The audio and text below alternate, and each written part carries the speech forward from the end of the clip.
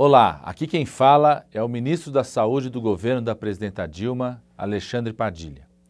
Com o Melhor em Casa, o Ministério da Saúde trouxe um novo padrão de qualidade no atendimento para o SUS. Pessoas com necessidade de reabilitação motora, idosos, pacientes crônicos ou que se recuperam de uma cirurgia recebem assistência médica, enfermeiros, equipamentos em suas casas, mais próximos da sua família. Acreditamos que o carinho e atenção, aliados à adequada assistência médica, são elementos decisivos para a recuperação de qualquer doença. Além disso, pacientes em recuperação, atendidos em casa, reduzem seus riscos de contaminação e infecção.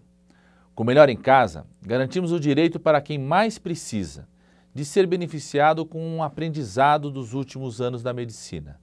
É o cuidado do hospital no conforto do seu lar. Esta ação integra a rede de saúde toda hora e o Ministério da Saúde depende da parceria com estados e municípios para executá-la.